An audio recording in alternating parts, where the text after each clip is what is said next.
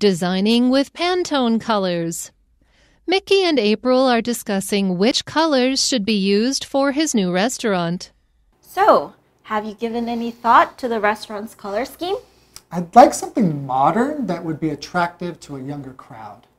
Living coral is the Pantone color of the year. Do you want to design your restaurant with that in mind?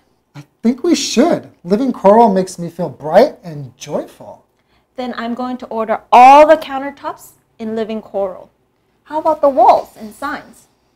Hmm. I think they should be white with splashes of living coral on them. And the tableware? Light gray. This way, if we do a redesign in a few years, we can keep the same ones. I think these colors will attract a young crowd, and young people like to use Instagram to share their experiences. This means they will basically be doing promotions for you for free. I also want to make sure regular customers come in. They will. They'll be attracted to your low pricing and great service. I really think you have a winner here, Mickey. Thanks, April. Let's hope so.